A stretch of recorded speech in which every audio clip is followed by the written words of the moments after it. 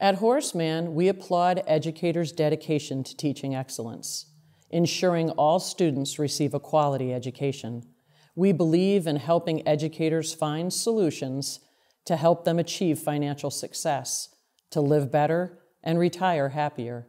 That's why we proudly sponsor the NEA Foundation Horace Mann Awards for Teaching Excellence to honor educators selected by their peers for their professional excellence and dedication to their students. Please join me in congratulating and honoring the five individuals who are this year's Horace Mann Award recipients.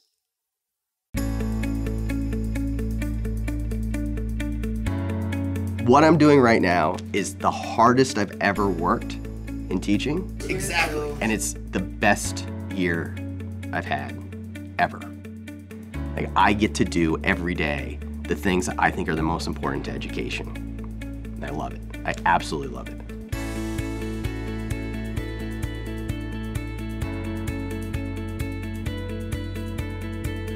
This is the Success and Innovation Center at Mount Blue High School. It's kind of Dan Ryder's dream project. A couple years ago, the opportunity presented itself to design a program that'll provide multiple pathways to students for success. Becky had a vision for like a kind of a social work office. I had a vision for a makerspace where kids could create and make and design. Having the combination of what he does and the combination of what I do works really well. And what we've discovered is nobody else is quite doing what we're doing. Folks asked us, well, where's the model? Who's like, who's doing this? And we would say, here's the model. We're, we're doing this. Oh, you're gonna, you're gonna dig it.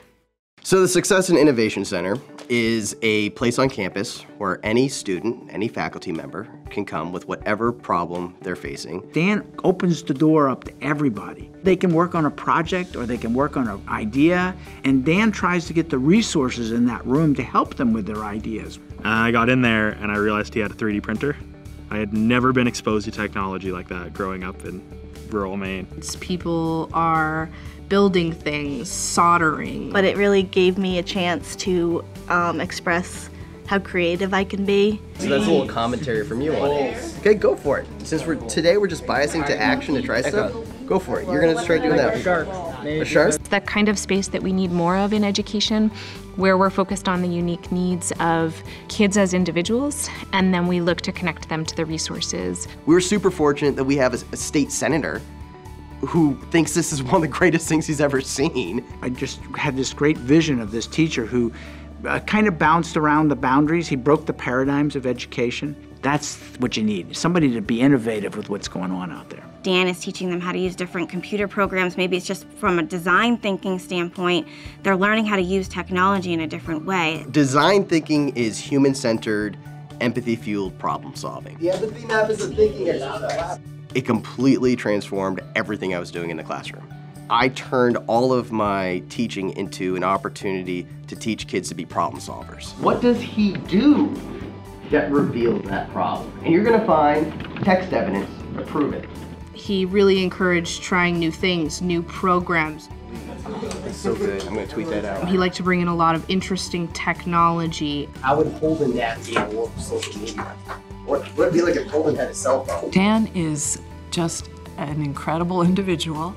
Just the creativity and the energy from him and the others in his troop. Awesome! That's fantastic. It's just inspiring. This community is amazing. They support really good things. Great stuff happens in the western foothills of Maine. Well done. We just need more people to realize it. You guys knocked it out of the park. It was absolutely unbelievable, so I applaud you all.